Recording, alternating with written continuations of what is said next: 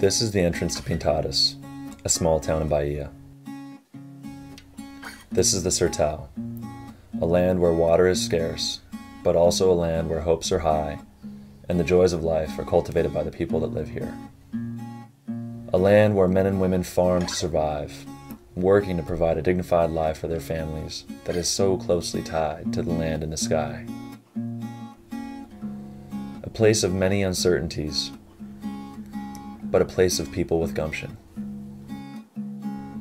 This is a fragile ecosystem where it is necessary to responsibly manage local resources, above all water and soil. The people of the Sertão need help to face these challenges. Lack of rainfall is worsened by climate change in the region, a trend that augments drought conditions here. Some people living here have committed themselves to the pursuit of solutions. We'll look to some of these individuals to see what they are doing to deal with drought and climate change in the Sertão.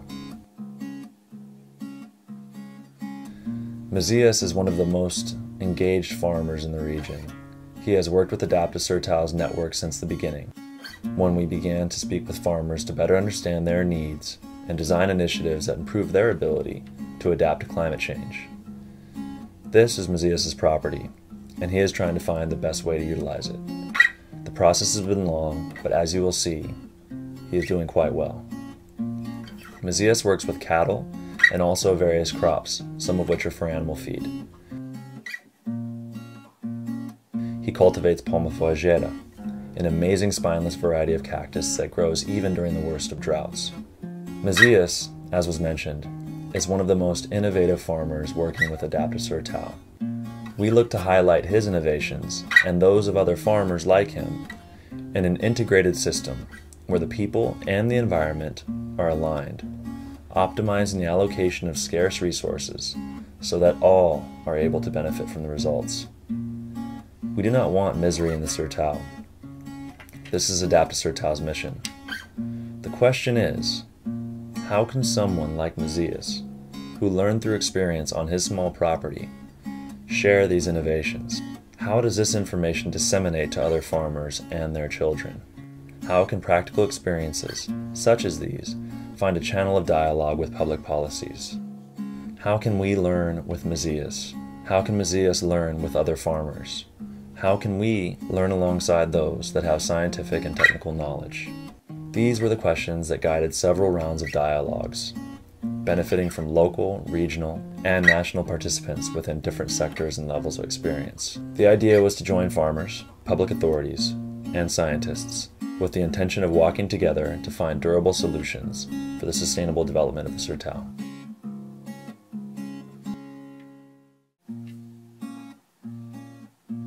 During the seven years of this project, there were rounds of dialogue with farmers, with local authorities, with community leaders.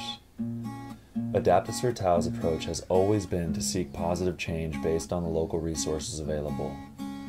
We create linkages in order to influence public opinion and policymakers from the ground up, strengthening partnerships between local municipalities and state and federal institutions. At the heart of the process is the goal to make bottom up policy the basis for the top of the pyramid of power and decision making. To influence policy, we know that credible data and scientific information are necessary. For over three years, Adapta Sertão interviewed farmers, testing crops and livestock responses to new production strategies. In addition, meteorological data was analyzed to understand shifts in climate. The aforementioned information allowed for conclusions, which were presented to public policymakers in Salvador, the capital of Bahia, and Brasilia, the capital of Brazil. Average daily temperature in Pintadas rose 1.75 degrees Celsius in the last 50 years, while total annual precipitation decreased 30% over the same period.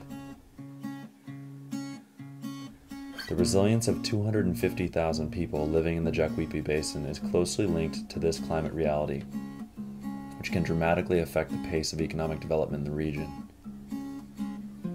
The conclusion is that droughts will be more frequent and severe, and that the population will need support to adapt to these new realities. There are small, dry earthen dams that dot the Sertão. Symbols of a social policy that did not anticipate the consequences of excessive deforestation of the local biome, Caatinga, of which only 14% of the original coverage remains. From these dialogues, Adapta presented a number of policy recommendations, which include additional water storage in order to support family farmers during extreme droughts, efficient irrigation technology to help them consistently grow crops and feed their families and their livestock without causing more damage to the Caatinga. Adapta Sertão bets that strong central cooperatives are the key to articulating local needs and mobilizing local resources. They act as local hubs, distributing knowledge and technology to farmers. Today, Bahia Sertão is a laboratory of creative initiatives. A belief in the ability to coexist with the effects of climate change. A new way of development. A shining light called Adapta Sertão.